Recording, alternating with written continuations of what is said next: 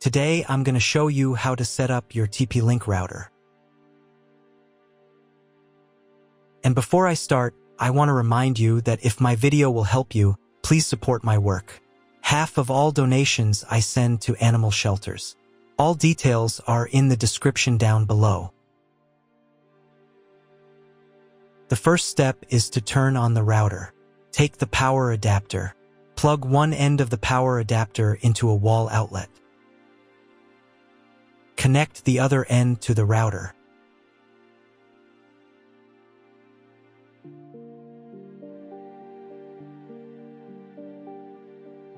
Turn on the power by pressing the button.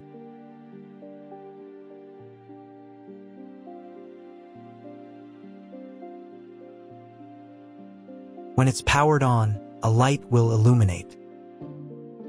It might take a few minutes for the router to fully power up. Next, plug the cable from your broadband provider or modem into the internet port. This port usually has a different color and labeled as WAN, and is typically a different color. Each cable should be inserted until it clicks. Now you should reset the router to its factory settings. Hold down the reset button on the router for 10 seconds. Wait for the lights on the router to begin flashing. Occasionally, this button can be found inside the router casing to avoid accidental presses. Use a slim object to press it down.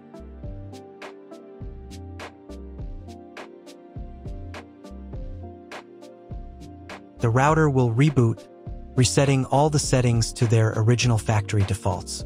Connect one end of the Ethernet cable that came with the router to an Ethernet port.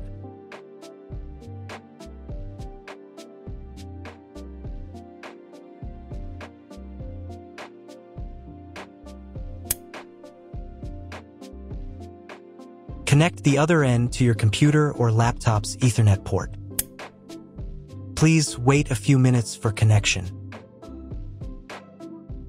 Awesome! Your router is now connected to your computer. Now, you will need to set it up. Before we get started, I'll show you another way to connect the router in case you don't have an Ethernet cable or your computer doesn't have an Ethernet port. Simply plug in the router to the power adapter and connect the cable from your internet provider. This will turn on the Wi-Fi. If the router is new and hasn't been set up yet, the Wi-Fi network will be named after the router itself. Your router has a unique Wi-Fi network name and password printed on a label. Connect to it. Great, you've connected to the router. Now let's start setting it up.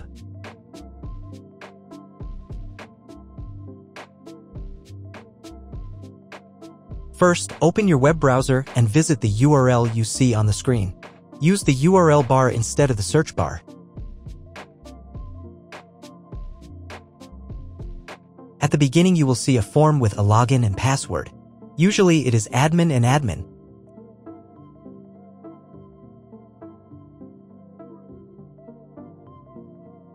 If these credentials are wrong, then find label on your router.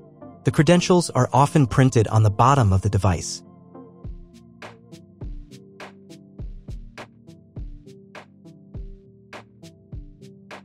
If none of this works, it means that your router has already been configured and someone has changed the login and password.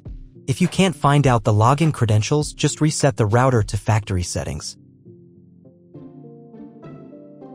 And then log into the router's personal cabinet using the standard credentials. If your router settings do not look like mine, it means that your router has a different firmware. I made a video for every firmware type. You can find all the links in the description down below. I want to warn you right away that there are many firmware versions and they may differ slightly. But don't worry, you will succeed, just watch the video and follow the instructions. At first, you need to set a password for the router's admin panel. Click on this button. Keep in mind that, depending on your firmware version, some setup steps may be different or appear in a different order. But don't worry, you've got this. Just watch the video and follow instructions. On the first screen, select your time zone. If you're not sure which one to choose, just select any. On the next page, select your internet connection type. This is usually specified in your contract with the internet provider. If you don't know, try clicking on this button for auto detection. The router will attempt to determine the connection type automatically. If detection fails, select Dynamic IP. Depending on the type of connection you selected, the next page might look different from mine. If you chose Dynamic IP, you'll need to select one of the options shown. If your internet provider allows internet access only for a specific MAC address, you'll need to clone the MAC address of your primary computer. If you're not sure, just select Use Default MAC Address. In most cases, cloning the MAC address isn't necessary. But if you don't get internet access after the quick setup, repeat the setup and try cloning the MAC address. On the next page, set a name and password for your future Wi-Fi network. You'll see one or more available Wi-Fi bands for your router. If there are several, enable them all and set a name and password for each network. When you write the credentials, click the Next button.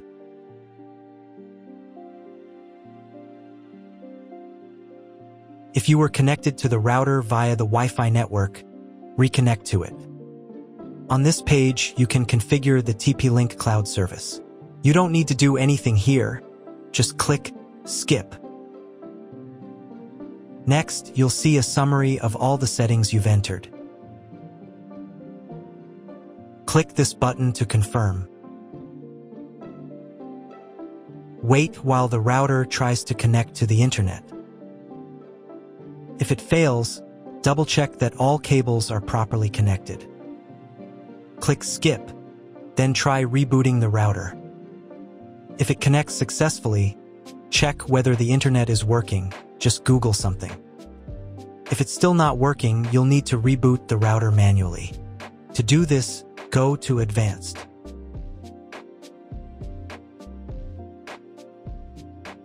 Then select System.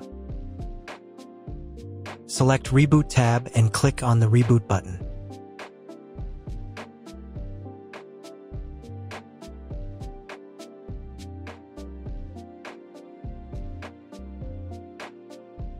Then check whether the internet is working. Just Google something. If the internet still doesn't appear, log back into the router's admin panel using the password you created at the start. Go to the internet and then clone MAC address.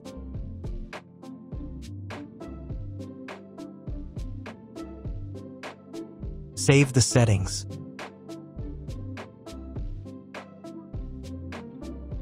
Reboot your router again.